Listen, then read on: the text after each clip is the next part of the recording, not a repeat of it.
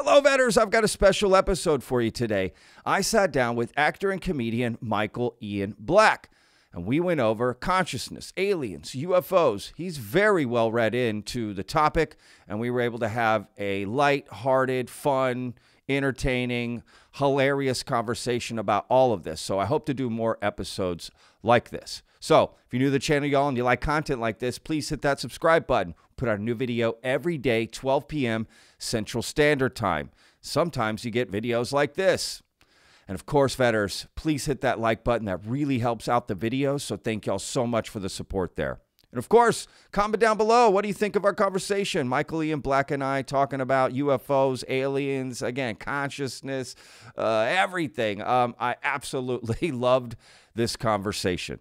Quickly, before we jump in, I just want to say that I am going to be back to just sort of our regular videos, right, that I normally do. So these are just special treats, like the videos I released the last couple days, the video I'm releasing today. I got another interview that's going to be coming out with Pavel, who's one of the contributors on The Big Thing. He's got his own channel going. We had a wonderful conversation about someone named Dr.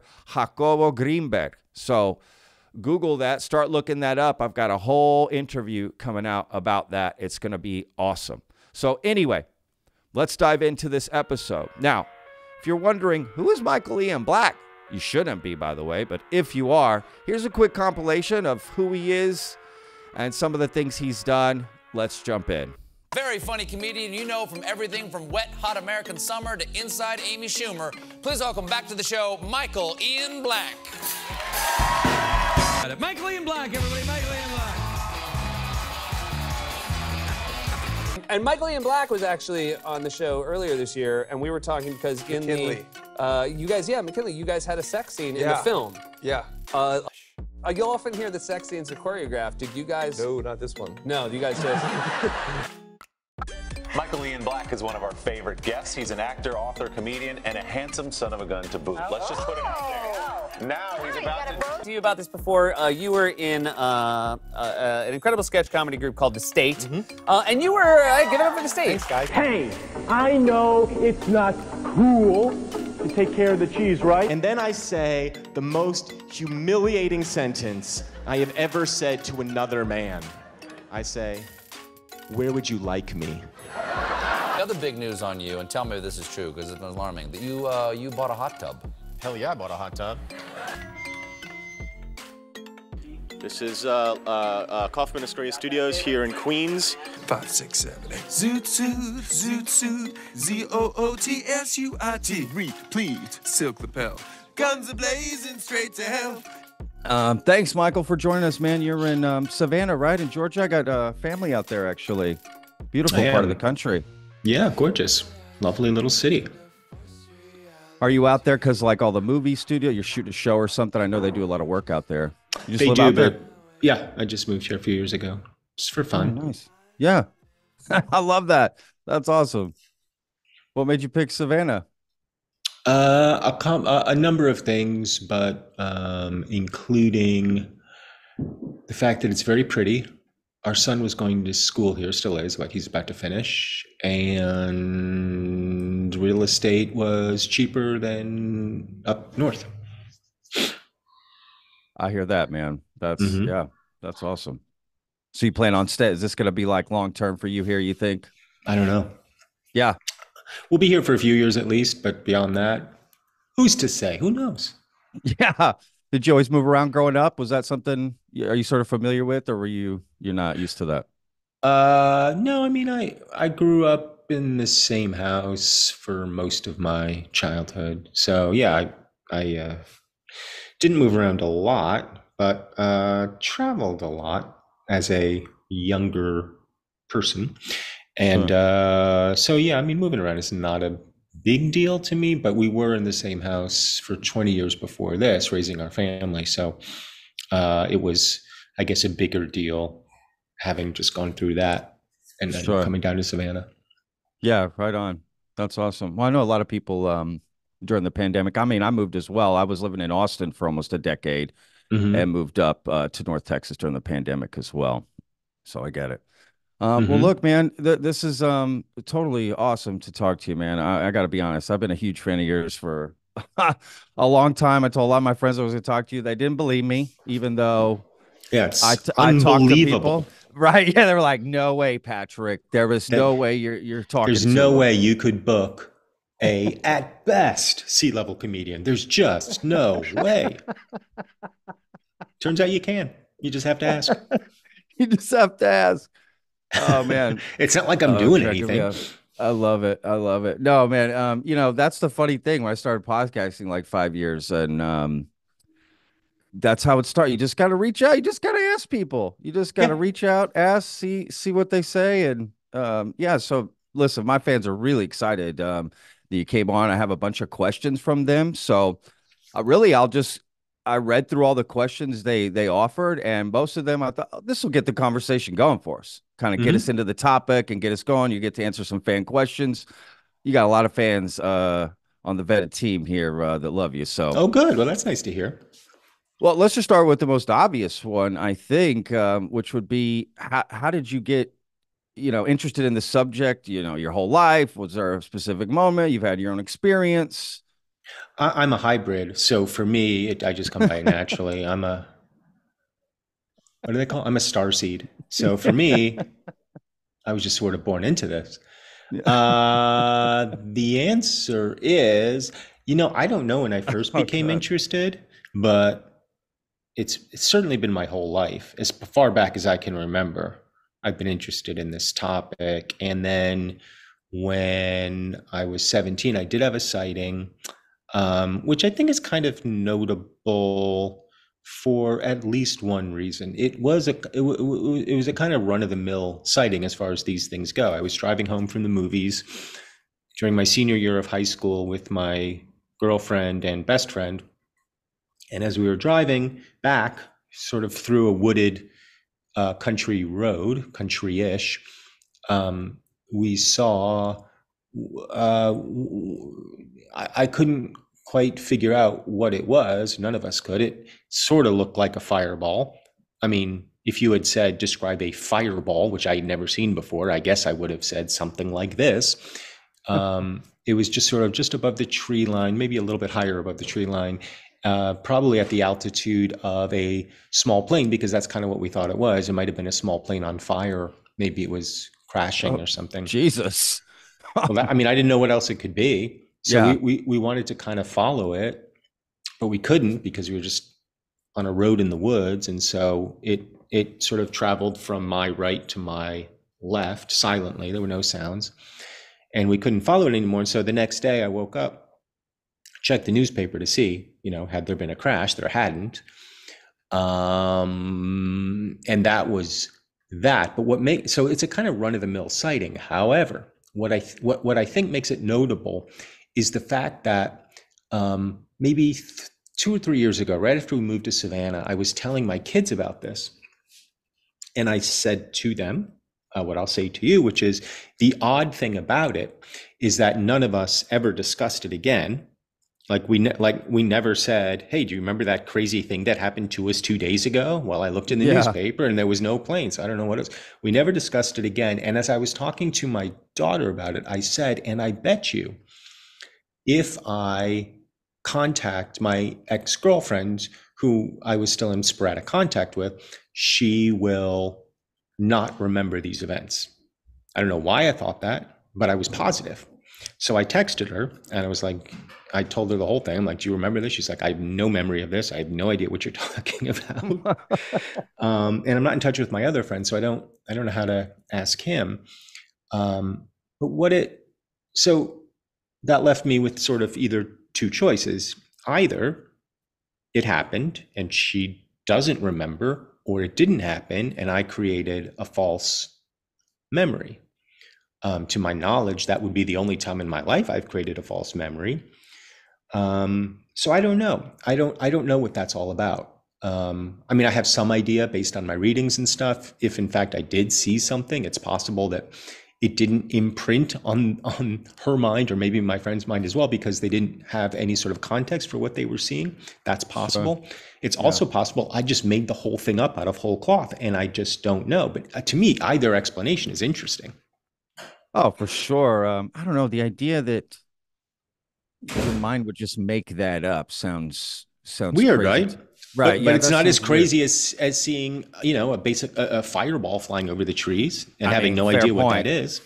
and and them not remembering, right? Or at least your ex, At least my right, texting her, yeah, and she her and the fact that I knew that she wouldn't remember. that is don't how- odd. I don't know how I right? knew that, but I knew it. Yeah. She's like, "What else do you know about me?" In Um, fact, the last time, so we hadn't spoken until uh, uh, uh, for a few years before that, and then coincidentally, I talked to her two nights ago, and she brought it up again. She was like, "I don't." Like she wanted to just sort of go over it because she's like, I'm very open to this being a real thing, but I don't have a memory of it. And I'm trying to understand. And I'm like, I'm trying to understand too. I have no idea why this happened or why why I would have invented this screen memory. Screen memory for what? Like, or just like, did I have a dream? Like, I don't know. And the fact that, like, I remember the two incidents. I remember seeing the thing, and I remember the next morning getting up and specifically checking the Courier News, which was our local Yeah. paper, to see, and Yeah. there was nothing there. Yeah, I don't know. That, have you ever seen or heard other stories that were like, "Yep, that's like mine," and kind of related to it? Well, I've certainly heard. So, you obviously know this, and your listeners will know this, but I feel like it's far more common for people to have, like for multiple people who witness something, to have mismatched or slightly mismatched memories of it than for them to agree on the events that uh, took place 100%. It seems like this is a fairly common phenomena, not only the sort of um, remembering it differently, but also one party remembering and one party not remembering. That also seems to be a, I don't know if it's a common occurrence, but at least a not unheard of a com- occurrence. Um, Yeah. That's so it so it does sort of jibe with other things that I've read, and I had never heard of the, the when when that happened. I had never heard of the fireball type. Like that wasn't a thing in my mind. I mean, maybe I'd been exposed to it subconsciously, but um, it's not what That's I a think. different one. It's not what I think I would have chosen for myself if I was going to Yeah. going to invent a UFO. You know, just some like shitty fireball. Like I can't. Like there's no.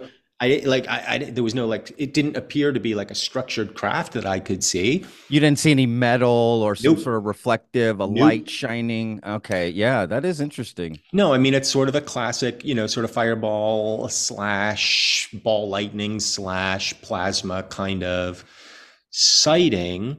Um, but at the same time, it didn't appear to me to be natural. Like it, it felt like, it looked like it was moving in a controlled way.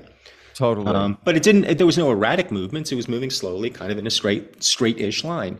Um, so yeah, so that was my only. That was my only sighting. I mean, look, to be fair, like I, I you know, I've talked to ex-girlfriends from back in the day that and they don't even remember like, you know, making out with me. You know, and it's like so I could see them being like, It's very disappointing. Yeah, it's like, wait, really? You don't I mean, I remember girls like they just don't even remember dating me, period. Well, The maybe- entire three months is erased from their memory. Well, that's that's what happens with trauma. When you date you, that's what happens. I need a t-shirt that says that. Oh my god. Oh, oh shit, that's funny. Oh my god. Yes. Uh, you're right about the memory thing. I mean, any event that takes place, right, immediately two people seeing it are going to describe it differently. Sports are a great example. It's televised live all over the world. You Mhm. talk to one guy like the Lakers killed it tonight. Another guy Mhm. like they fucking suck, man. And they're watching the same game. Um, now, essentially, that maybe be a little bit different, but I think memory is like that, right? It's just our perception, what we take in, what we know, you know, from the knowledge from our past. Can we relate to it in some way? You know, maybe if you are interested in this topic, you look up, you see a fireball, that's going to, imp, imp, you know, implant in your brain a little bit more because you're like cataloging that. Maybe just like looking out at the beach and like a, a crowded beach and what do you notice versus what does another person notice, right? Do you notice the the hot ladies over there walking the thing or the girl walking her dog or you know Mhm. sandcastle or i don't know it could be some situation like that um but that story is that's fascinating because i've never had a sighting like that that i couldn't i'm a little jealous if i'm being honest um you know that you've had this sighting Well, what's what uh, you know? I had the most gentle version of this, but um, what's unsettling about it is not knowing what's real like not being able to trust your own memory like that's Sure. that's that's an unsettling feeling to just kind of walk around with so when i think about it i you know it just feels unresolved Yeah. um and that's kind of that's just kind of tough to sit with um But if she said, as i said as i said it's the yeah, gentle if she had if she had remembered that would have been that would great change it, right? yeah, Yeah. that would have been like amazing confirmation Sure. um i think it's more interesting that she said she didn't it's fair of her, right? That's like honest, authentic, right? It makes you, Yeah, and you then know, two makes year- you and then- that. And then I talked to her two years later, and she's like, and I've still been thinking about this, and I just don't remember. remember anything Yeah. like that. Yeah, that's crazy. And it's and and and before any of your uh, viewers or listeners go to the next part of this, there was no like missing time or anything like that. It was just this, at least that I recall, it happened, and my only mem- I, well, I can't. I this is stupid, but I can't say for sure there was no missing time. I just don't have the sense that there was. Like my my memories go, we saw the thing, somehow we all got home. The next morning I checked the paper. That's sort of the sequence of my memories. There's nothing else around it. There's nothing odd around it. Sure. No, that's I mean, that's fascinating. What a what a great way to start this off. Um look, I got a question here from C Drake underscore GG. Okay, here we go. It says first off, I named my daughter Stella for obvious reasons. Secondly, do you think looking into space is a distraction as it seems most of these anomalies are based in our oceans? That's been a hot topic right now, right? USOs. I know I just read uh, most of Gallaudet's white paper on it. Is that how you pronounce it? Tim Gallaudet? Uh, Tim, well, they he said Gallaudet, but I don't know. You know, I'm not French. Uh, je ne sais pas parler français. Ah, well. Um, do I think space is the place to look? Uh, I think it it is a place to look. I think our skies are a place to look, and I think our oceans are a place to look, and then obviously, like deep space is a place to look too. Like it's all until not until I mean, once we figure this, what once we figure out what this is, and I'm not confident we will anytime soon. Um, I feel like that's just going to give us more places to look. I don't think it's going to, like, I think once we have a sense of what this is, I, I my guess is it's not going to resolve anything. It's only going to sort of lead to more questions. Yeah. Well, that's oh, hit the nail on the head there, man. That's that's exactly it. Um, Heiser Soze says uh, he's one of my mods on the channel, by the way. Um, what's the most convincing incident sighting, whether historic or personal, that has made you a believer? Well, we talked about your personal one, but are there any sort of historical events that just like, yep, damn, this is pretty convincing? Great question, Heiser. It's a great question. And I guess the answer is no. What I think is most compelling to me is the totality of evidence. You can look at any one of these incidents and be like, okay, here's a possible explanation, here's a possible explanation. And I think you have to I think you have to exhaust every possible explanation before you arrive at, okay, I guess it was a spaceship. Um, like that, you don't want to jump there. And I tend not to. So I think you could dismiss most, I shouldn't say dismiss, I think you can make an argument against most of the sightings, but like some of them are just tough. I mean, the Phoenix Light sighting, I think, is really tough to dismiss. Yeah. I think Yeah. the Tic Tac is really tough to dismiss. Um, any of these incidents that the Pentagon is releasing and saying, we don't know what this is, I think, okay, you have to take that seriously because obviously they've got every kind of PhD scientist looking at this stuff. They've got radar operators, they've got uh, metallurgists, they've got optical experts, they've got radar experts. Like they've got all the correct people to look at the data. And if at the end of that they're saying we don't know what it is, I think you have to take that seriously. Um, Yeah. But there's a lot. But, but I mean, there's things like um, uh, uh, Fatima and Lourdes that are these sightings of some something witnessed by thousands of people. Well, what was that? It's not a craft, but it's something. It's something communicating something to people. Well, what? What? what is that? Where does that come from? Like to me, in a sense, the nuts and bolts UFOs are the least Yeah. interesting part of this entire conversation. Yeah. And I've even I've got. I've even gotten to the point where disclosure is kind of an uninteresting part of the conversation for me. like I don't care. Like if the government's hilarious. I mean, it's not that I don't care. I do care. I want the government. No, I want the, I I, want there to be answers, but it's like I'm not relying I'm not waiting for them. I'm not relying on them. And in a way like I feel like the public is the UFO public anyway has moved past it and the government is I think in a lot of ways going to end up playing catch up to what the the the the UFO community is sort of piecing together. Um, there's just so much compelling information out there, not only about the craft, but all the associated phenomena that, and I'm not saying it's all one thing. I don't, I don't know that it is. Um, but the UFO part to me is, is actually the least compelling part. Yeah, no, you make you make great arguments, man. I feel like I've had those a lot of those same things that you're talking about, those conversations very recently, um, in fact. So that's yeah, that's interesting to hear you say that, to be honest. I with you. also feel like the government basically did disclose. Like as soon as that Schumer amendment came out, the language Yeah. of the Schumer amendment to me It's a good is point. disclosure.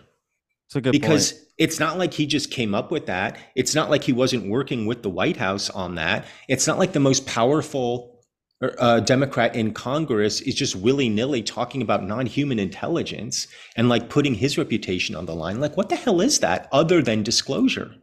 It seems Yeah. to me that just the bill itself was disclosure. And so, whether it passed or not, not that it's irrelevant, but like the headline to me was the bill was the introduction of the bill itself.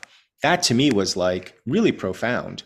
And and and it was a way of somebody, Schumer, the Biden administration, DOD, somebody saying we're going public with this and we're doing it in a, in a way that we we can without uh, unclassifying anything or revealing anything.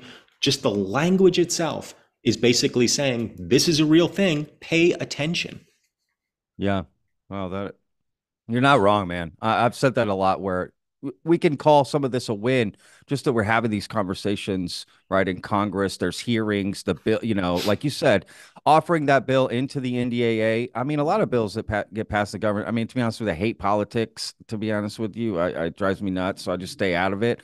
But a lot of things take time, you know, first round, second round, right? It takes a few years to get it going. Like every mm-hmm. major legislation that's been passed in, I don't know, the last hundred years or more. Right. It, it was a battle. It took many, many years. I mean, just for women to vote, look how long that took us. I think to admit aliens, like it's going to be a minute, you know, uh, potentially. Yeah, I mean, look, obviously with with um, women getting the right to vote, obviously we made a mistake there, but I don't want to make the same Yeah. mistake. Huge mistake. UAP. I agree. I get, yeah, let them vote. Let these guys vote, right? Let them in.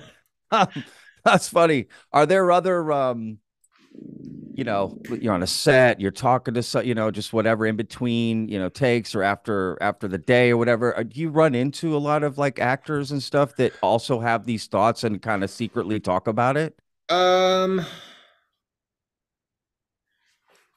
Well, I don't bring it up that much to people because those Guys, people- let me tell you about this country road I was on. I was 17. They're like, uh, Michael, you're due on set. hold on, hold on, hold on. I'm talking about aliens. Hold on, I got aliens, man. Yeah.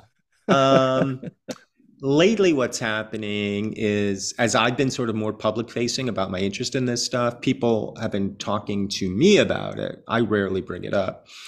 Um, Oh, well, that's cool. I would say that like the creative community in general, like of actors and writers and whoever, are, are maybe They've got to be open to it, right?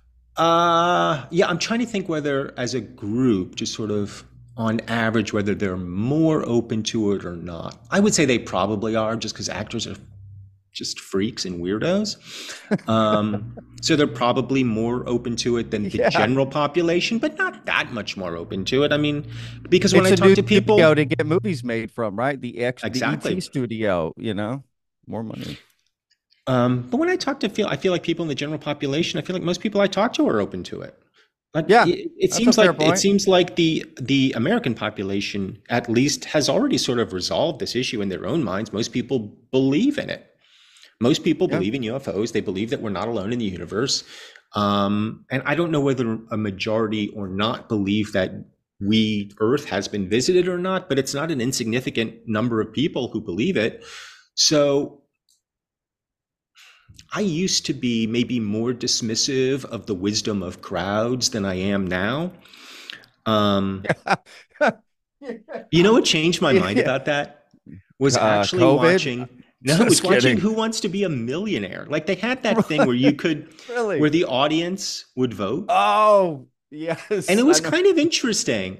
Yeah. Having watched that show many, many times, the audience almost always got it right. Um, I think there is something to be said for uh, collective wisdom, collective knowledge. If you want to take that to the collective unconscious, I think you can. And I think the fact, for example, that globally, I feel like although the the people participating in religion globally has decreased markedly over the decades, Yeah. I think the number of people who believe in God or a higher power has remained consistent throughout the decades. So they're losing something about the religiosity of it, but they're keeping the sort of underlying their version of the truth about it. So I find that really interesting too. Um, Yeah. Well, that's a good point, actually. Yeah, because uh, they're losing faith faith in the institution, Right. but not right the ideas behind Not it. in the Kinda like idea our of- government, right? Yeah. Like we we don't trust necessarily our government or whatever, whoever you are, right? Everyone think for themselves, but we believe in a you know controlled society and rules and having right, but well, how some it's, of us how do. it's run. Some of us do, yes. Trust me, I'm in Texas, man. Um, I get it. There's a lot of uh, crazy people out here, man. Yep. Um, yeah, I mean that's no, but that's a good point. Um, you know, I think you made a good point about we don't need to wait for the government for disclosure. I mean, the fact that there's so many millions of people with stories like yourselves, and even going further with stories, right? Like uh, way, getting- way further. like yeah, like way further. Yes. Um, so how do you take that away from right? It's like how do you tell somebody, hey, this isn't real? And they're like, uh, what about my experience? Or just the idea that, okay, yeah, there's there's definitely life on other planets. Of course. What are you crazy? Oh, but maybe they've come here. What are you fucking nuts? There's no way. Well, which Right. like isn't that that's kind of a weird like why can't that bridge be connected? You can believe so strongly that there's life out there, but you immediately dismiss that they could have come here or are coming or whatever, however you want to put it. If I had to guess why those two thoughts can exist simultaneously in people's minds, is because, yeah, mathematically you look at it and go, well, yes, of course, obviously there's life in the universe or life in our galaxy. yeah. Um, and then you can, and the same math applies to, well, then, well, but how could they have gotten here? Like, why Yeah. would they be here and how did they get here? Like, you could look at it purely logically, the way like a lot of astronomers and cosmologists do. Like, I mean, I think this is Neil deGrasse Tyson's whole argument. He's like, but, but they, couldn't get here. And where are they? And we would see them and there'd be more evidence, et cetera, et cetera, et cetera. I think all that is valid, absolutely valid. And, and a lot of people, I think, um, you know, kind of appeal to authority on this question. And they go, well, the scientists are saying it's not here, so I guess it's not here. And it would be a shock to the system for them to sort of make that um, intellectual leap to saying, well, wait, maybe they are here and maybe there is evidence. And maybe everything that I thought about my place in the universe is wrong, and everything I thought about humanity is wrong. Like that's kind of tough to sort of make that make that ontological leap. Yeah, I mean, you're not wrong, right? Um, there's no, there's no direct evidence. Well, you know, publicly Depends who you talk to. available. yeah, exactly. Trust But I mean, get there is. a I mean, lot. like, Uh, It's it's just it it's it's it's the weirdest you're right. Topic. it's how you look for it, right? Like depending Mhm. how deep can you go in the research, how many people you talking to, like how down the rabbit hole. But I would also say there's a double-edged sword to that. Mhm. You go too far down, now everything becomes.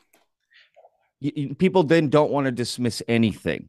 Right. You know, essentially like, oh, that that could be real, that could be real, and then it just gets so flooded and so diluted, and kind of why I started this channel. It's like to help sort of vet condense this down a little. Yeah, exactly, vet it. Um, although that has backfired as well. I'm sure it has. Uh, you know, Patrick ain't bet nothing. Oh, best bet Patrick. You know, you name you name the joke. It happened. Um, so yeah, but just asking questions, right? Trying to narrow this down to scope and you know what You maybe can't. It's hard. It's almost impossible. I I have found it I have found it impossible. And Yeah. so I'm I'm sort of taking the approach of listening to everything and believing Yeah. very little. yeah. You know, or believing some sort of percentage of I'll take from column A and I'll take a little bit from column Yeah. B and just keep plugging uh, plunging forward. It's it's it is such a it's such a I don't know what the word is, expansive topic. And as soon as you hit any one of these topics, if you're serious if you're serious about it and you really want to understand any one of these topics, and when I say these topics, I'm talking about anything kind of paranormal or Sure. paraphysical or whatever. Um, as soon as you start looking at one of them, you end up looking at all of them. And almost by necessity, you have to open your mind. You just have to. Or or or, or else and the whole thing becomes a kind of hall of mirrors that you sort of have to navigate through. So you can either choose to go through the hall of mirrors, or you can say, you know what, I'm just not going to go into the fun house at all because it's a pain in my ass. And I'm happy just to ride the rides and be in the carnival and make myself sick on cotton candy. the hall of mirrors just seems like uh, a, a, a nasty use of my limited time here at the carnival. And it is. It absolutely is. Like it's a pain in the ass. And it's and the reason people get obsessive about it is because it lends itself to obsessiveness. It's the kind of subject that, you know, Kelly Chase um, called her podcast the UFO rabbit hole, the UFO rabbit hole podcast for good reason. Like you Yeah. start going down this thing, you don't come out. I mean, you or or you know, you you you have to make sure that the ladder is right there. You have to make sure you don't stray Yes. too far because you will go insane. Yes. Truly like leaving uh, the Hansel and Gretel uh, crumbs behind, right? So you can get out. Um, Yeah, you have to. A hundred percent, man. I, I couldn't agree. It's like jumping without a parachute um, Mhm. into this topic. Don't do that. Um, yeah. But again, like you said, it lends itself to it. I could, I see how it happens to people. Um, I tend to like none of my friends are really into this. None of my family. Um, so that helps me disconnect in a lot of ways. Mhm. Um, I do this for a living, so that helps me disconnect too. I can on my off time disconnect, whereas most people they work and then in their off time they're diving Right. into this stuff. And for me, it's the opposite. I'm I don't want to hear anything about UFOs and stuff. For a lot of times, if I'm off, I just want to, Mhm. you know, just whatever, just just enjoy some other part of life. Um, look, I got this is a, this is an interesting question here. Um, oh gosh, let me make sure I say this right. Quit staring at my handle. Oh, okay. Have you ever tried the CE5 contact protocols? No, not yet. Um, I'm curious too, and, and and honestly, the well, there's a few reasons I haven't. The first is I don't know anybody who does it. I wouldn't know where to go or how to hook up. Second, I don't like being in groups with a bunch of like weirdos who are calling UFOs from the sky, even though I would be one of those weirdos calling UFOs from the sky. Um, Hey, what are you doing? Stop that! Stop that! Yeah, that's funny. Oh, ah, I get it. So it doesn't like scare you or intimidate Scare me, no. you? No, no, no. And the other thing is like I just don't like being outside at night. Like I just get cold. I don't want to be cold. But I, I absolutely would do it. I would, I would absolutely be be be very curious to do it um, if I could find a group of people that I uh, had had some success with it and were interested and liked it, and I didn't think were just like um, sort of too out of their gourds for me. Like I can go pretty far out of my gourd, but I, I need I need I need it to be tethered to reality also. Um, if I could find that group, I would absolutely try it. I'd be I'd be fascinated to try it. That's interesting. Um, You know, I think Steven Greer has given it a bad name, um, just because of you know his shenanigans with charging people and the flares and and whatever else. But it seems like there's plenty of other groups out there who have had success. Um, people do it for free. Um, that's what I've been told. Like there's online Yeah, of course. videos you can watch and and do it yourself. I know some groups that meet every Saturday to kind of do it. I guess essentially, whatever. Whatever they the had success? is. They say they do. Mhm. You know, I I don't know. I personally, I personally don't want to try it. Just I I don't know what's out there. I, like I don't know what the answer is. But if there is something like eh, it scares me to like want to like tempt it or Interact. I don't it. know. Yeah, I don't know what these things are. Can we trust even what they're saying to me? Like, I don't. What if they're they're, they're like the alien Donnie Brasco? Like they're they're like screwing us somehow. Like I, I don't. Can I trust them? They're, know, they're they're alien narcs. Yeah, they're wor- alien narcs. They're working man. for the I- feds, man. Are you wearing a wire, man? You're just like, you know. Um. So I don't Um, know. I will- that well, here's what, here's what I think is interesting. I mean, the whole thing is interesting. The whole like the protocols, the idea that you could sort of interact in some capacity with something. I I do think that's interesting. But the, but the thing that I take away from it, at least my takeaway uh, as we speak, is there is something very powerful about intentionality um, with all this stuff. There is something, I think, profound and true about the idea that once you start looking at this stuff, it starts looking back. I do think that's true. Um, and the question is why? What? What? How? What is that mechanism? What? What? What is receiving these intentions? How are we communicating them? Are we communicating? Is it is it self generated?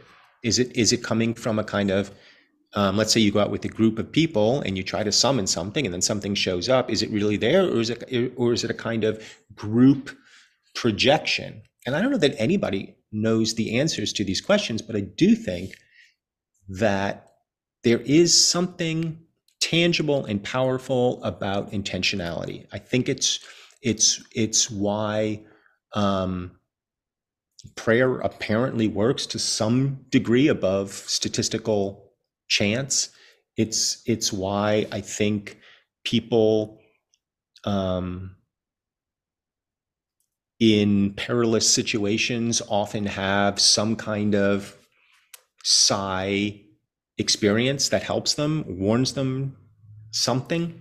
There there is something about th- this idea of intentionality and um, sort of uh, vulnerability, somebody being, or or or the thing that I've been thinking a lot about lately is people who hit, you know, quote unquote rock bottom with alcohol or drugs or whatever, Yeah. and they they they feel they're at their lowest. Nothing else can be like they can't go any further down without dying, basically.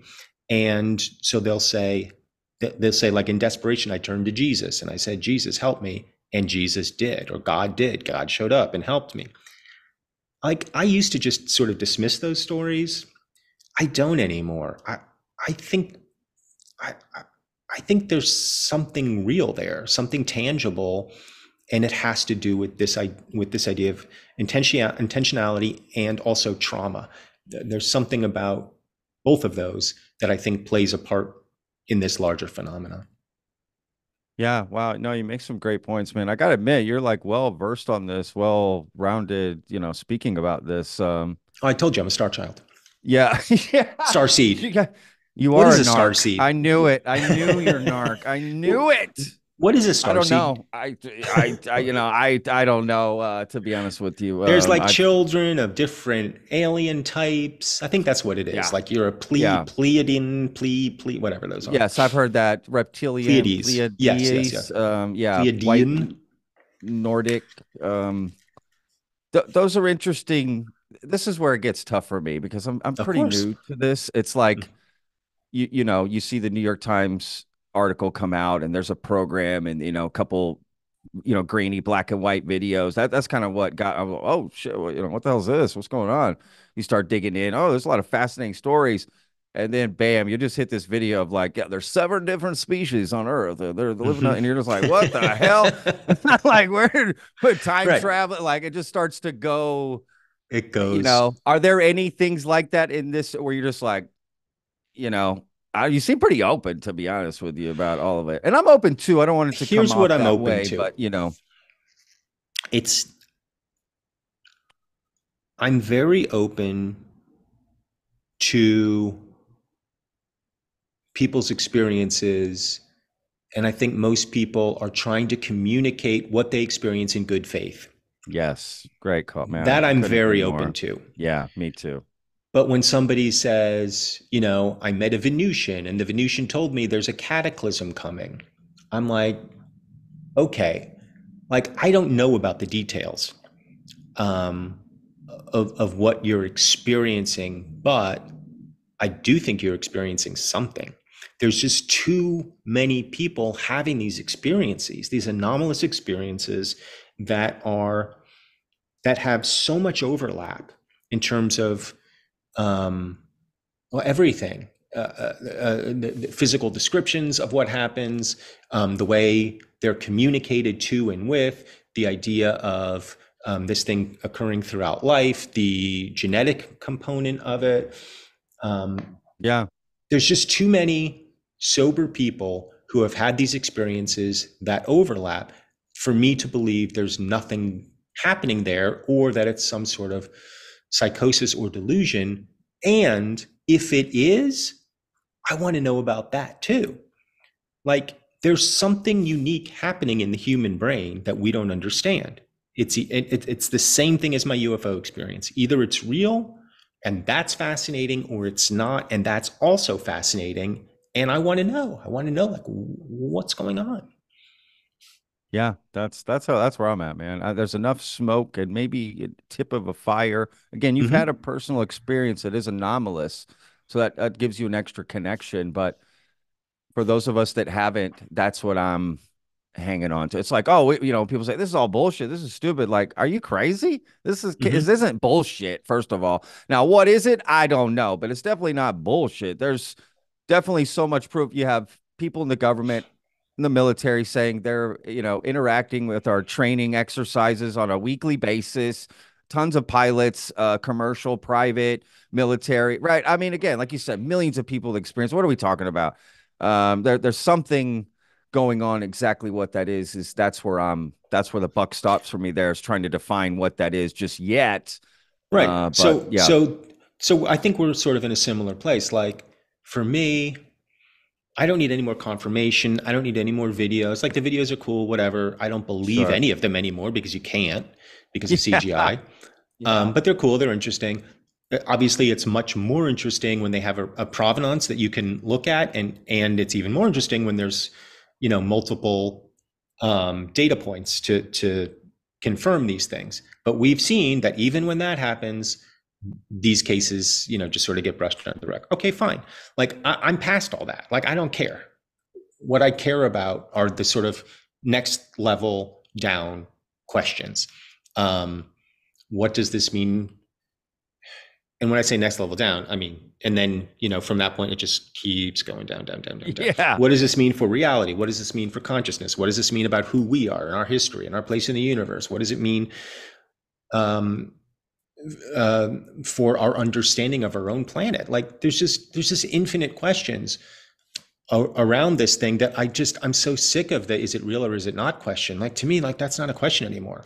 When Yeah. Barack Obama is on Stephen Colbert saying, "Yeah, we got these things flying around, we don't know what they are." Okay, Yeah. case closed. Like Yeah. I believe that. Uh, you know, like I believe that dude Totally. 100%. Yeah. I as well as more. the thousands of other people who are saying the exact same thing, as well as David Grusch, who's basically repeating the same claims that have been made for 50 years. Yeah. Now, why? Is it because there's something there, or is it because there's something not there? Either way, it's interesting. Either way, it's a fascinating story. Either the government is like creating like some sort of weird fucking psyop to like a generations long psyop to perpetrate on the American people and the global community for for purposes that are unclear and mm, would almost by definition be illegal and nefarious, or there's something going on. And I'm just Yeah. of the mind that there's something going on. Yeah. No, you and a lot of people, like you said, um, no matter what the governments are saying, just the average person is like, yeah, let's look into this. What's going on? I think there's something, uh, seems Mhm. quite obvious to, um, to get to that point. So you're right. We, we should be moving past that and having these other conversations. And to me, those are the more fun conversations and deep sort of learning conversations to have. You know, how does this, where do we fit in the universe? You know, all those questions you just asked, like that. That to me is where um, the conversation is. Well, And have you me, heard of these Nazca mummies? Oh, sorry. No, Oh no, yeah. Go ahead. Oh, and, and to me, that's the compelling part of the conversation. As I said, like the physical stuff, the craft stuff is is super cool. And if there's technology there that I could, you know, uh, that they could apply to universal rides, and then I can go on and fly around, neat. but like, but I don't care. Yeah, Uh, kids, we're going to another dimension. Great. Great. This is awesome.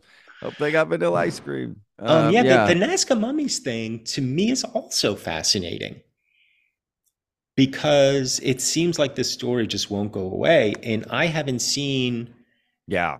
anything that definitively debunks it. If anything, it seems like everything I'm seeing is saying there's something here. What is it? Is it a different hominid species? Maybe. Um, but it it seems to me at least like the original theory of these are just weird animal bones that were cobbled together a thousand years ago for reasons we don't understand or maybe more recently i don't know but the bones themselves seem to be like a thousand years old um, i haven't seen anything or anybody that definitively states that's the case it, it just seems like every time i see somebody looking at this stuff they're saying the opposite uh, so I don't know. What do you make of it? Yeah, I'm open to it, like yourself. Um, I've actually spoken with um, the director that's doing the documentary on him, Michael Mazzola. Mhm. Um, did a Twitter space with him. We we messaged privately about it. Um, yeah, I'm open to it, man. I'm I'm open till I'm like you. I have I haven't seen anything definitively to like dismiss it completely. And I'm I'm half Mexican. My mom's from Mexico City, so I grew up going to Mexico a lot. And I, I've heard of, to be fair to the whole situation, I have heard of things like this happening in the past where they take different Mhm. and, and construct other things and kind of fake it. They hoax it. Like I have heard of that in the past. I'm not saying that's what this is, but but again, when when scientists and doctors are looking at these specific ones, Mhm. there has yet to be an absolute dismissal. People try to. People go, no, no, they dismiss it. And you go, okay, well, where's that link? Where's that? Where's that Mhm. link at? And they go, I, I don't remember. I, I saw it somewhere and I can't find. You know, and you're like, okay, but you know, I'm not ready to just dismiss stuff. Again, we like to talk about esoteric ideas and all these stories. But finally, people bring us something tangible to look at and to study. I think we should take advantage of that. If anything, just as a show of how let's just pretend whether it's real or not. It's like climate change. You don't have to believe it or not. We only have one Earth, so let's just for the for safe sake, let's just really take care of this planet we're on. You know, whether you don't need to believe in it or not. Like it's all we got, right? Why take the risk? So same thing with these mummies. Let's, regardless if we believe, let's just show how we would investigate. Let's go deep. Let's let's really prove it. Let's you know get to the bottom of it. I'm I'm in. I'm open. Mhm. So Um, yeah, that's where I am. I mean, I have no idea what what those things are. If they're some sort of hoax, if they're not a hoax. Um, They're fascinating. That's for sure. fascinating. Yeah, fascinating. they're- I they're mean, the, they, fascinating. they have metal in them. They have eggs in them. It's like what? the eggs i was like what the hell what what is going on here what who's got e- what and if you're gonna hoax something who was the guy sit going let's put eggs in their stomach right like that'll that'll, That'll do it fuck them up. Yeah, yeah, and it, and, it, and it does fuck me up. yeah Um, it it's absolutely just the does. last thing you would think to do is a hoax right like put eggs in it like I think the last thing you would do is the metal bar. that, That, too to me is what's crazy. on the neck you're talking about on the Yeah, neck like there's have? one. There's one on the chest. I feel like. Oh like yeah, right you're here. right. Well, there's two kinds of mummies. So okay, so that's interesting you brought that up. So there's the mummies that came out like last September, right? And they showed the ones from the Mexico Congress City conference, Yeah, yeah. exactly.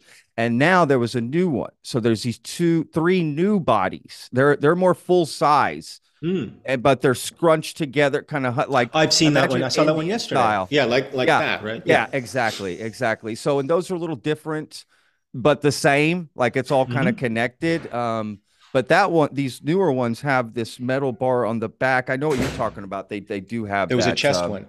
Yeah, the chest So to one. me, if like you were hoaxing it, you'd be like, what? Like, why would you put metal on a thousand year old allegedly cadaver? Like, what's the point? you wouldn't. Yeah, no, I agree. Like this uh, finely shaped Yeah, metal. Like, why would you do that? It's got symbols on it. Um, I mean, maybe Yeah. you would because you're trying to convince people it's an alien, so they'd have some sort. I mean, I don't know. I don't know. it- I don't know. I mean, is. I I I, I guess know? I guess I sort of lean towards it's not real, and I will continue to lean that way until there's something more definitive to say Yeah. that it is. Sure, of course. But like, unfortunately, like I'm just such like I've gone far enough down the rabbit hole now that I can't dismiss anything just out of hand. You have to look at everything. Like Yeah. that story that just came out in the Liberation Times about, or I guess it wasn't originally in the Liberation Times. It was in another an, an aviation publication about these these drones that are swarming over. Was it Langley Air Force Base? Um, like hundreds of these drones that have been swarming over over this base. And so the article's talking about it and talking about it and talking about it. But nowhere in the article does it say how they identified that they were drones and nowhere and and they haven't taken any of them down. Like none of these drones have been captured or uh, at least as far as we know. Yeah. or anything. So you look at that and you and and like you know a few years ago i'd be like oh there's drones. Somebody's flying drones over there Yeah. but now i'm like well wait a minute. Is is that what it is? Because that report is very similar to what we were hearing from the nimitz. Like there were just these dozens and dozens of these uap just sort of flying around. Okay well what's what's happening like how are the let's say they are drones. Who the hell has these drones that we can't shoot down or capture that are flying with impunity over our military installations? What is that? I agree. I, like there's just so many like crazy shit like like that happening all over the world all the time. And let's say you know and i'm not saying any of it is aliens but there are but it might be it absolutely might, be, I know. It's crazy to like. i don't think we can dismiss there. it Yeah, it's like, but that's there. I can't push that off the plate, right? Um, essentially, yeah. I mean, these these nuclear incidents that happened, those are actually really compelling to me. The ones that happened here and the ones that happened in, in the Soviet Union. Yeah. Um, that's really compelling to me. The fact that it happened in both places freaked out both militaries. No, neither side knew what was happening or why. That's really compelling to me. And they weren't talking to each other. It's not like the Soviets were talking to us about it. I think they both kept it under wraps for years. Yeah. What is that? I don't Well, I know. know there was um some documents, and I'm sure you know one of the viewers will will vet me on this. Um, but there there was definitely a document between Russians and Americans where they identified, hey, we need to have a back channel to communicate and identify UFOs. and, You know, so we don't just fire off at each other. If we see something, we don't assume, hey, it's the Americans or hey, it's the Mhm. Russians. Um, so they were fully aware that there was things flying around that they didn't know what they were. Enough so that they needed to make an agreement and have some sort of open line of communication to not start, you know, World War Three. Um, again, I think there are a lot of details like hidden in plain sight that kind of disclose a lot of this for Mhm. us, right? And we're kind of fighting over these other details, funding, how, what is their you know, what is their approach, right? There's so many different camps in the UFO community. When you come into it, you're like, wait, why doesn't this guy talk to this guy? And they think completely different. These guys are saying it's a threat. These other guys are saying there's nothing to worry about.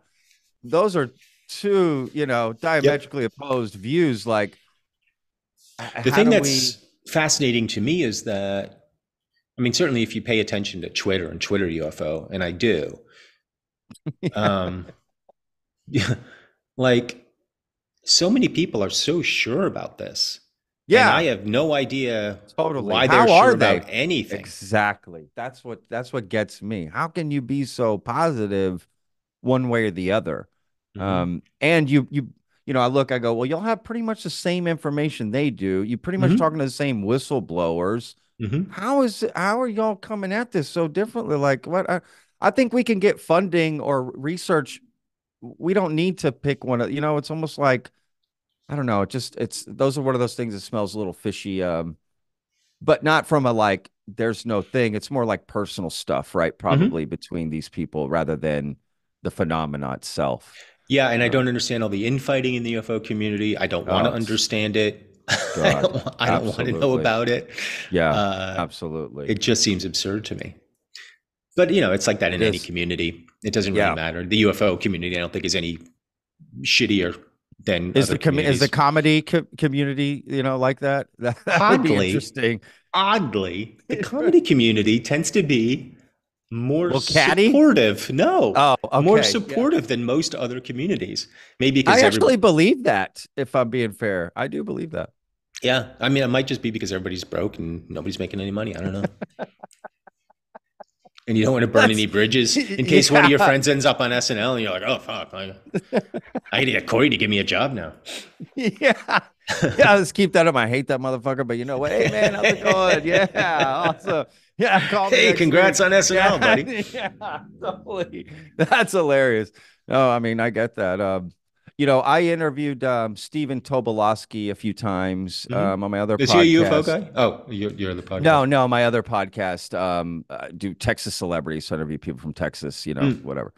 And um, he told this great story the first time I spoke to him about. Um, he's from the Dallas area where I grew up as well, and he told a story about Stevie Ray Vaughan re- recording his very first track ever on guitar with in Stephen Tobolowsky's high school band. Oh wow. Right. It's this crazy story that he just like popped out on me at the, you know, on the podcast. And do, you- do you have any like crazy stories like that? Like some sort of weird connection that Involving just, like, Stevie Ray Vaughan. Yeah. yeah. And or Stephen Tobolowsky. Uh no, just you know, some weird connection to some because everyone, you know, I was blown away. It's it's um that video is bonkers on our YouTube channel. Um, I don't know. I don't know, some weird sort of I mean, I fucked Bradley Cooper. Does that count? yeah. yeah. Yeah, that counts. I say that counts. I actually saw a clip of Bradley Cooper saying, uh, who's your favorite kiss? Uh, on screen kiss. He's like, Michael Ian Black, baby. How great is that? Dave, let's just be glad he he remembers it, not like old country road. All right. this is uh thank you, Bradley, for, for keeping that. Wow, that's funny, man. That that's hilarious. Um any plans to do another? Um, I know y'all did a sequel, like I don't remember. yeah, we did two ago it was. sequels uh, for Netflix.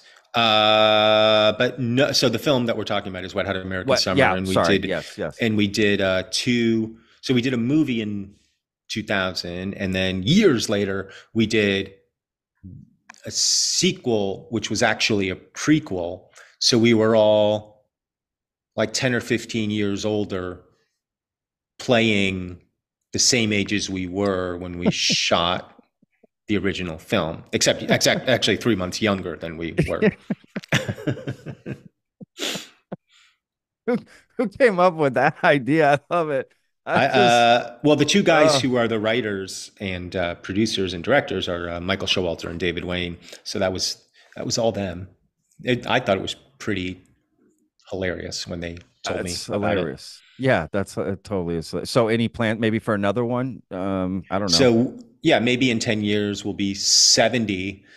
we'll be in our sixties and seventies, playing. Uh, you know, maybe elementary school age children or something. I get flashbacks of Robin Williams, Jack. I just picture that, Oh, yeah. or or Cocoon, but uh-huh. different. I don't know. Um, okay, that's interesting. That's very interesting. What what's your um? Oh, let me let me read the name here. Um, which by the way, there's a thousand questions I didn't ask, so I'm sorry, vetters. I I got carried away and asked my own questions. Um, You know, what's it's your fa- show. You're allowed to ask your yeah, own questions. I know, I know, but um, you know, they they put out these these great questions and I didn't get to them. Like usual, I screwed it up, Michael. Um, sorry. Oh gosh, sorry. Just let's just go with sorry. Uh, what's your favorite alien related movie?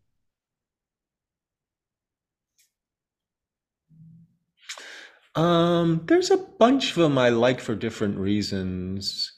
I I uh I the the well so Close Encounters I think does a really good job of exploring the the the the consciousness side of it and the kind of woo woo side of it in a way that sort of makes sense you know?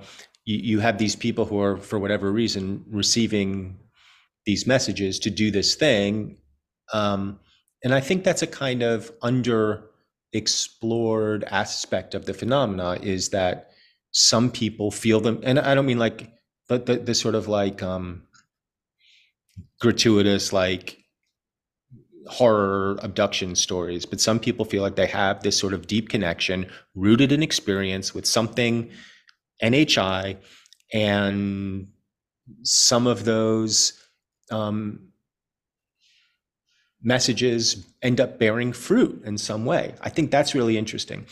Um, recently, I feel like The Arrival did such a good job of not Yeah. only being it was it's not only a beautiful film, it's a philosophical film, but it also I thought did a really good job of presenting um, what I imagine trying to communicate with an NHI would be like. It's like, how do you where how do you find that middle ground? Where where where is our commonality? I, I thought I, thought that was really really well done, and I liked how alien they were, um, how exotic those creatures were, how unlike us they were. I really liked that. Yeah, they also like introduced the sort of time element, time space Mhm. element in a in a Mhm. in a phen- phenomenal way. Um, Mhm. Yeah, that, that's uh, and and speaking of um, Denis Villeneuve has you know Dune two coming out, so it's kind of alien in some sense, right? Like he's really into this. Um, I like these great directors taking on these concepts and not making it so goofy, which which is fine. I like goofy too, like uh, Hitchhiker's Guide. I mean, that's Mhm. ab- just genius. I mean, just like next level. Um, so I can appreciate, I guess, all the way across the board. Fire in the Sky is one of my favorites uh, movies. I don't know why, I've just seen it and I with don't remember it. Yeah, I What's know Fire in the Sky growing up- about? It's Travis Walton. Travis story. Walton, right? I did know that. Yeah. Yeah, yeah, yeah. Yeah, I remember thinking uh, when I was a kid, you know, I was you know teenager at the time when it came out. I was like, wait, is that that's the Terminator 2 dude? What's he doing? He's got a beard, like he's a country guy. What the hell? You didn't understand the concept of actors when you were growing up. Correct. I didn't. I was like, how is that? He's not a real robot from the future. I don't. I'm confused, mom. Uh, yeah. I, I mean, that's the truth. I just thought, wow, that guy. He's like Daniel Day Lewis in this shit, man. This guy is great. Uh, he doesn't get enough credit. Yeah, I love that movie, DB Sweeney. Yeah, I, I don't know Mhm. why I find that that movie um just fascinating. That story. Tra- you know what? It's very similar. I mean, the second half of the story, but they're out on a country road, they're with their friends, right, hanging out, and then all of a sudden they see this Mhm. thing and they can't explain it. Uh, that you know, that's a good question. Would you would you Travis Walton the situation? Would you go out to a Given and be choice, like, what's you know, what is that? You know what I mean? Does that make Oh. sense? Like, would you approach Uh, this thing? I wouldn't only because I've heard too many stories about radiation. Yeah. Um, but like if if I could cocoon it and they were like, "Hey, come come hang out in the stars with us," I'd be like, "Yeah, yeah, cool." And even if I knew, even if I knew there was some chance that they would eat me, even if I knew that, I'd I'd be like, "It might be worth it." That's I have this theory about like if you had a psycho ex-girlfriend, it's like they they they made you a hair doll. Hey, that's dedication. Like I'm that's I'm I'm getting attention like I've never I'm got. flattered. Like I'm I'm flattered. Like I'm going till there's a knife to my throat, and then then I'm stopping. But up until that point, yeah, You're that's good. Cool. Hang hang outside my window and watch me for 12 hours. I don't mind. Go for it. I'm like I'm cool. So you know I could I could see that like there's a small chance they'll eat me. Yeah, I'm in. This is uh Mhm. this could be fun. Who knows Yeah. what I learned? Maybe I eat them. You Mhm. know, I, I turn it on them. I don't know. I, I guess that Turns out cra- ET tastes Also- like chicken. Who would have thought? Oh, oh man. I just got people got a lot of bad uh, thoughts right there. That's hilarious. Oddly, I never liked ET. Really Never liked it. Interesting. Interesting. I could see that. Was it too It was too hokey. unrealistic? Yeah, yeah, I get it totally. I mean, honestly, if I tried to watch it now, uh, yeah, um, I think when it came out, I, I I was young enough to where, yeah, phone home, you know, I- Mhm. you know, I was in. Um, it, this is a good question. Um, I think. Um, oh gosh, uh, you know, I can't read these names, y'all, so I apologize. It's just it's just consonants stuck together, y'all. That that's, I can't read that. Uh, any guess on shapes of UFO, particularly the rumored Santa sling? Have you heard about this? Sounds No. like a tic tac with gears out of it. This is the most fascinating one to me. I'll tell you about it here in a second. Any thoughts on black cubes and clear spheres? That's the Mhm. uh, Ryan Graves told that one. Interesting, is mentioned since Roswell, one of the interviews, and popped back up from Ryan Graves. So the Santa uh, sled one is um, there was a debrief article last year that came out where one of Leslie Kean, she's a journalist, right, for the New York Times, where she had a source. Uh, no, no, Michael Shellenberger. That's who it is, the journalist Michael Shellenberger, who he had a source that, you know, worked on this craft, whatever, touched it. And he talked about sort of a Huey helicopter, black egg shape, flat back, and then underneath had like a Santa sleigh sort of to it. Um, I don't know. I, I always found that because when I first read that, I was like, well, I've never heard of that before, or see, you know, nobody's mentioned that in a sighting or Mhm. or anything. So I don't know. Yeah, I, that's the first I'm hearing of it. Um, the it seems like there is a kind of endless combination of morphologies that these things show up as. I don't understand the reason for that. I, don't know that they're. I don't. I don't think anybody understands the reason, at least that I'm aware of. Um, I just got done reading this book called A New Science of Heaven by Robert Temple. And I don't know how it relates to this or not, but it's it's stuck with me. So it's a book about plasma. And Robert Temple is a scientist and professor and writer um, who's particularly interested in these kinds of leading edge, cutting edge, whatever you want to call them, topics.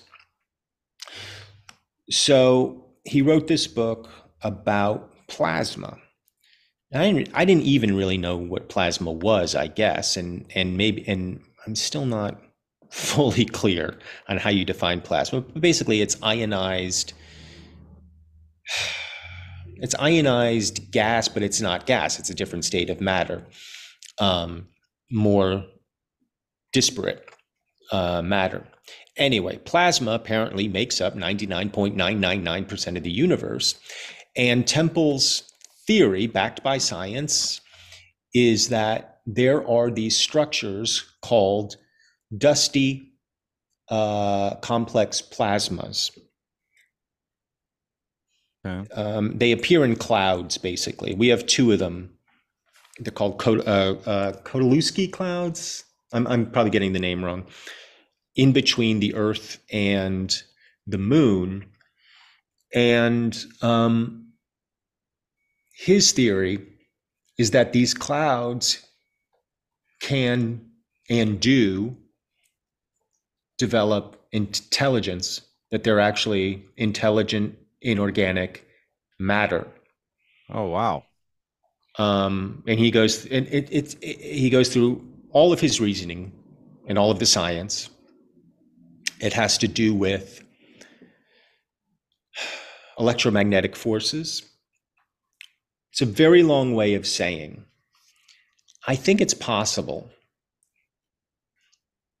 that, according to Temple's theory, maybe there are other theories like this out there, that there is some sort of ethereal force. And the reason I use the word ethereal is because I think it has the same root as the word ether, um, which was the sort of theorized conducting substance that permeates the world. It was dismissed, but it's it's possible that such a thing does exist, and it's possible that it's plasma. And if that's the case, and these sort of dusty, complex plasma entities do have some sort of intelligence, it's possible that they're responsible for creating these morphologies, these shapes, these projections, these things that we're seeing for reasons which may be at this point in our in our existence kind of inexplicable. But it's also possible. Oh, so if what he's saying is true, and I, I don't know nearly enough to say whether it is or it isn't. yeah. If 99.9% of the universe is made up of plasma, it then follows that we are also made of plasma. It then follows, um, and he talks at length about this, that we have plasma in us. It then follows that perhaps we actually are plasma and that it's the the meat suit is sort of being animated by the plasma and when we die for example the plasma separates from the meat suit and sort of returns to whatever you want to call it god source Yeah. the Kotaluski cloud or whatever um That's but it is, it is, if any of that is true and i'm not saying it is because i don't know it is possible that one aspect of ourselves the sort of larger let's call it plasma or the ethereal aspect of ourselves is creating um, these other aspects say ufos or cryptids or whatever as a kind of uh, educational tool, as a way of pushing us forward on our own evolution, and saying, "Okay, look, look at look at this, and see if you can uh, figure out the physics of how something like this would work." Yeah.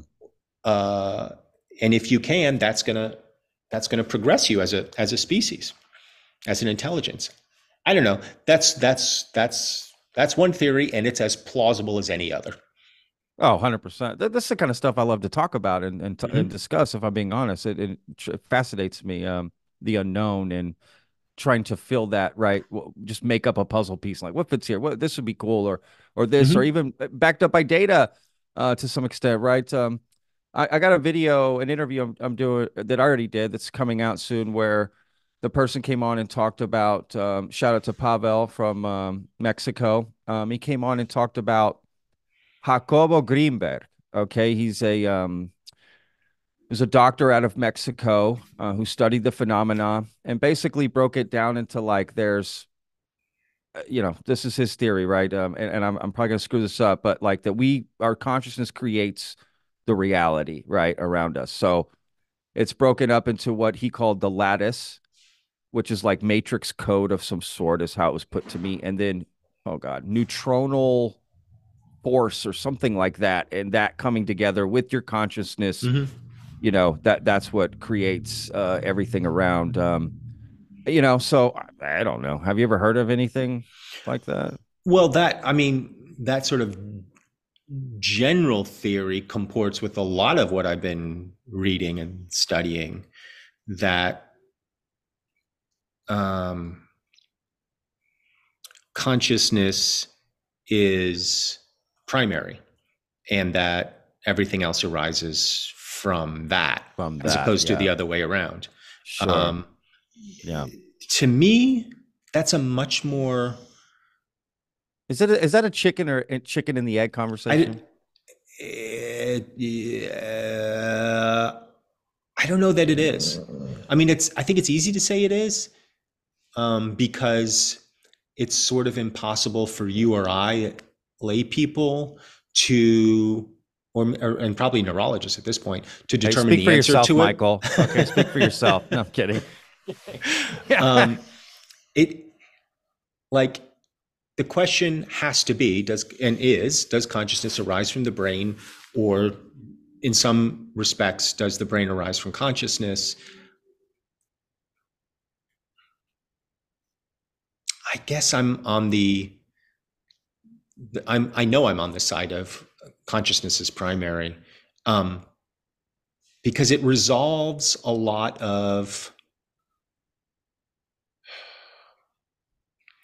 I, I it, it resolves a lot of for me unsettling questions about humanity. Um, clearly, we have consciousness, but I've got my dog here, and he has consciousness. my, my dog's right here too yeah 100%. There is some sort of animating spirit in this Yeah. animal. Mhm. And there is some sort of animating spirit, I think, in most, if not all, living things. And so, how far how far down does that go? Does it go to the cellular level? Does it go to the subatomic level? Um, it would be foolish, I think, to think that humans are somehow uniquely conscious. We may have an unusual degree of self awareness, but And consciousness thumbs. and thumbs, which I feel great about, yeah but consciousness seems to be pervasive Yeah. um I don't think I don't think the universe makes sense if it isn't. Because then you've got, you know, if the age of the universe is 14 billion years, you've got 14 billion years of essentially nothing. Nothing. Nothing's odd, right? examining it seems weird to me that nothing I think you can make the argument that the universe cannot exist without consciousness in the same way that you could make the argument that a tree actually does not make a sound in the forest if nobody's around to hear it. I think you can make that same argument about the universe uh, in That's, uh, general, which leads, I think, inevitably A great point. to the sense that the universe, in some respect, in some aspect, must have consciousness. And if that's the case, then the universe itself is a living organism of which we are a part. And if that's the case, then I think you go, well, so is that the only living organism? Is the universe the only living organism? Are there other living organisms like the universe out there? I don't know. I mean, I just think like I, I that this is what I mean. Like as soon as you start looking at a single UFO, fuck, now you now the universe is conscious, and you're like, ah, man, come on. Holy, I mean, You know, you read an article in the New York Times, the Yes. next thing you know, you're meditating on an ashram, and you're like, come on. Yeah, This is not what I saw for myself. yeah. Oh God. Oh shit. That's so funny and so true, though. I mean, it, it really is true. Um, yes, it's, like- it's a it's a quick dive. Uh, Mhm. you know, deep. Um, You listen to one Blink 82, 182 song. Next thing you know, you're you're wearing purple and killing yourself when the Hale-Bopp comet shows up. Like, what the hell? all the small things just waiting. Oh God. Oh my God. Oh shit. That is oh God. I mean, that just couldn't be more true. Um God. I It's so mean, crazy. It really oh Jesus. Um, so I yeah. understand why when people are like when people are like they just don't want to deal with this at all. They're like, yeah, Yeah. yeah. I mean, you. Totally. It's the thing that like They see the end of the road, right? Like, I don't want to end up im- there. they immediately sense that this is not a road they want to go down. Because like the, I have, the, you, you know, you said your the people in your life don't care about this. Nobody in my life cares about this shit, and it's always Yeah. like it's so funny to me. Like some people read that article in 2017, and they're like, "Well, I know what I'm doing with the rest of my life," and then other Yeah. people, but like, but like most people are like, "I don't give a shit." but those of us who do are like cannot fathom why nobody why everybody else isn't like devoting all their time and energy to this. And that's the reason. The reason is because it doesn't it's like you know how does it affect the price of a cup of coffee? It doesn't um but I just picture affects- someone reading that newspaper and they're just like, I, I quit, Bill. Yep. I'm out of here. Fuck you and fuck your shit. I know, you know, I know what's going on now. Um, that's Well, so funny, but so true, right? A lot of people did just, again, it's just how you take in a situation, right? It's just what you think Mm-hmm. I mean, about I was things, how you take predisposed it it. in. Yeah, me too. Um, yeah, I I was too, and I don't even know why I'm fascinated with. I guess I'm just curious. I love the like I love futuristic movies and sci-fi, and I Mm-hmm. love tomorrow more than I love yesterday. Mhm. You know, I'm I'm one of those kind of guys. I'm just whoa. I don't know. I got a thumbs up on my screen here. Um, that was pretty cool yeah, it's like that. Well, that's you know, we got a huge CGI budget uh Yeah. here at the vetted uh podcast. Yeah, Michael's like, let me just some- move gesture make, uh, maybe you're, maybe Yeah. it's gestural and you just there's a new feature that you didn't know about on zoom if you give the thumbs up There must be. Uh, so yeah, I you know it is all fascinating. I you know I would add one thing to what you said about consciousness and and that sort of thing. It's like I don't know if we could ever know if it's exist without us or not. But I think for me, what I like to concentrate on is it just it adds meaning.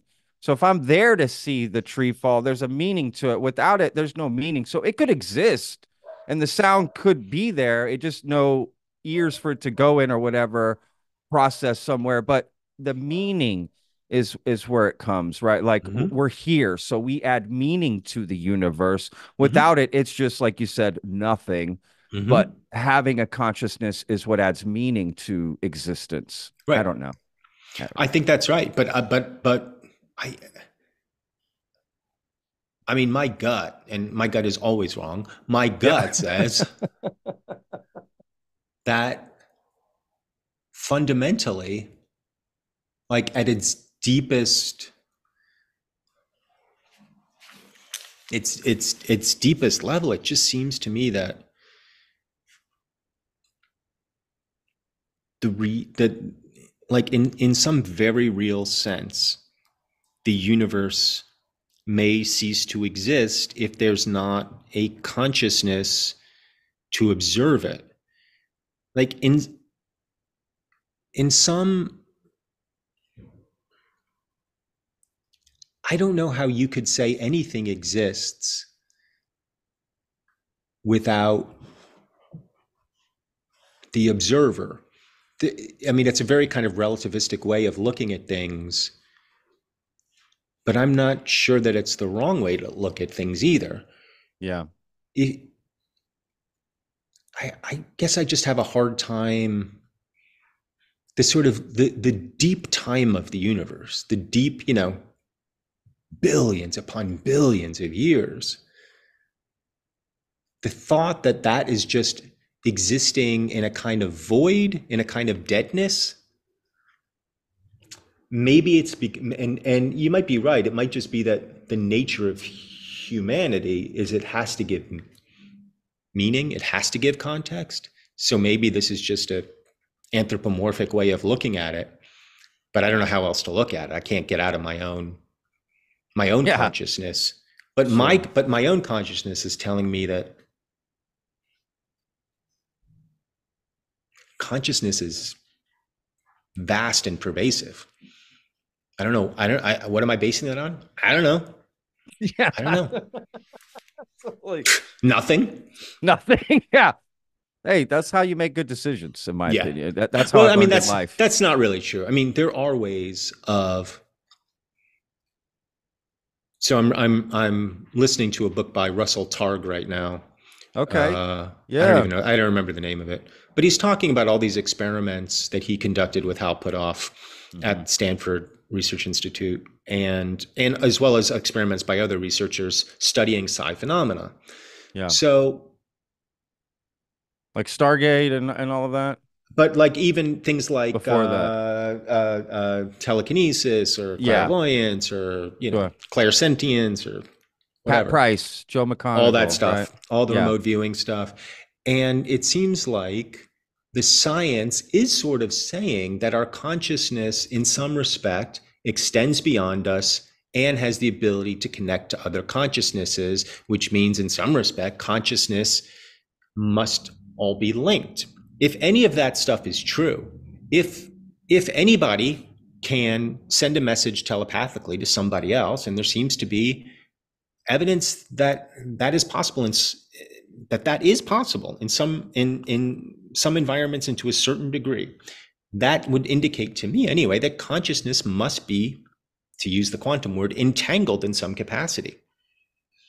And if it's entangled between two people almost by necessity it has to be entangled among more than that Yeah. um, and it could be that certain people are more tightly entangled than others, family members, for example, versus like me and, you know, some Vietnamese lady halfway around the world. but I don't doubt that in some respect, I could, in some respect, be entangled with, with her as well. Sure.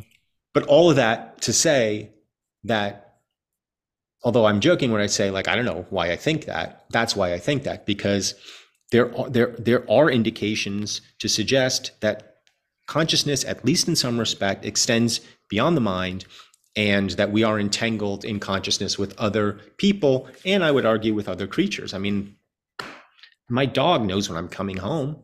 You know, weirdly. Um, like we'll Yeah. park like like he I know he can't see me if he's parked by the window and I'm half a block or or So I, I actually know about this. I, Mhm. I, I, I, I read something one time. Now, granted, it's on the internet, Mhm. Uh, but they said a dog, because I got two dogs too. They they said a dog. So their sense of smell is really strong. So they they learn over time when you leave the house and you come back. If it's more or less the same time, they learn to judge how much of the smell is left in the house. And when it starts Mm. to get low enough, they know, oh, he's coming home. Oh, interesting. I when I heard, I was like, oh, okay. So they so they're smelling the atmosphere and going, okay, there's, you know, five percent of you know, And that's when here. that person comes home. Yeah, and that's when they come home, and so that's how they determine it because it. I would buy that if my schedule was more regular. Yeah, But it's not. My schedule's Yeah. so irregular. No, fair. I mean, me too. I mean, uh, you're right. Um, as I say that, um, yeah, I don't know. Again, it was the internet, so uh, I mean, it know, makes makes perfect sense. I- you know. Um, but I don't know. I, I look, I'm with you. I my dogs look at me. They they. I swear, I, I you know, I'll just you know grab the little head on the couch and like some something's up. I mean, I can just Mhm. tell the way they respond, their way they're so. They're just so much more in tune with what's happening around them. I don't think they have the same way to communicate as we do, but I think they're so in tune with what's happening around and very understanding of what to do, how to do it, you know, kind of getting a sense of what needs to happen with you, just like instinctually. And there's just so much more to it than than we understand for sure. I, I couldn't I mean I couldn't agree more on that. Yeah. And that and that is fascinating, right? Having that this being right in front of you, um, that they Right. It's a non-human intelligence. Yeah. It's got consciousness. It Correct. relates to you. You relate to it, and it it has it has talents and abilities that you don't have. You have talents and abilities it doesn't have, and yet you create this really good symbiotic relationship. totally Um, other ele- elephants, right? Dolphins, um, birds that are so smart, uh, parrots. I mean, I could go on owls, uh, monkeys, uh, gorillas, right? Like you, uh, it's it just blows my mind. I mean, it's just like there's something. Yeah, I don't know. It's it's, it's something about consciousness and intelligence, at least on this planet, that is certainly pervasive. And Yeah, I, and you know, nothing that we've learned so far in our history indicates that this planet is particularly special, other than the fact that it has life on it. But we just haven't found it out there yet. But we will. Yeah, well, that's a good point here. All right, Michael. Look, I'm going to end on one uh, good question here. I think Mhm. you're going to like. Um, this is from Criley 36. If you were to have a close encounter with the UFO, what would be the most Michael Ian Black thing you would do in that situation?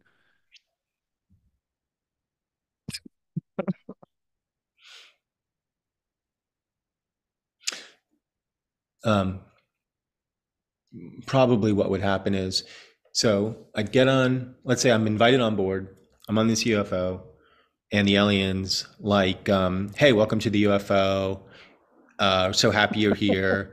and then it tells me its name, and I forget the name immediately. And then for the rest of our time in interstellar space, I'm too embarrassed to ask the alien's name. So I'm just like, yeah, man. Yeah, totally. Yeah, brother. No, that's yeah, a cool Jim, nebula. You're just like throwing out names to see if they respond. Yeah, Krog. Yeah. That's an amazing Krog. nebula, right? What did you call me? Hmm? Yeah. Huh? What? Hmm? Never mind. Oh my god. That needs to be a skit, a TV show, a movie, something, because that is so funny. Oh We're out there. For hundreds of thousands of years. just drifting along, Yeah. never knowing till till it's but then you realize at the end they they didn't know your name either. They were dealing with the same issue, you know, the whole time. and we just Y'all have such a good laugh about it. Oh, we have such a good laugh. Yeah. Ah, those hundred thousand years we wasted. that was hilarious. Uh, no, what a great answer, man. Oh, that's so funny. Look, Michael, I cannot tell you, man, how much I enjoyed this, dude. I, I, my God, this was so much fun, man. Um, Yeah, my pleasure. so- Thanks for having me on. You're so knowledgeable about this too. It's what made this uh, fascinating discussion. Um, uh, and you brought new thoughts, new things I had never thought about. I know people listening and watching are going to have the same, um, same experience. So, again, thank you so much, man, for taking the time. This was this was amazing. Oh, yeah, my pleasure. It was really fun. Uh, thanks for inviting me on. Hopefully, we, we get to do it again here uh, in the near future or something. If you're interested, that would be I'm cool. around. Hell I yeah. remain on the C list and unemployed. Well, tell you know, do you have anything coming out you want to tell people about? You want to promote something, some project? Uh, I don't know. Nah. Well, I mean, if you want to subscribe to my Substack, that's the thing I've been doing a lot lately. Yeah, I mean, I'm I'm. I'm working on other stuff too, but I'll put a link in the description. Have people go check it out for sure, man. You just write Yeah. articles on there. What are you doing? yeah, just write whatever. I write about UFOs sometimes. I write about all kinds of stuff. Yeah, right on, man. Awesome. Well, thank you again, Michael. Hope you enjoy the rest of your day. Say hi to your pubs for me, and we'll talk soon, brother. Thanks, my pleasure. All right, man. Thank you, Patrick. Peace. Bye. All right, later. Bye. I live inside my own world of make believe. Kids screaming in the cradles, profanities. I see the world through ice covered in ink and bleach. Cross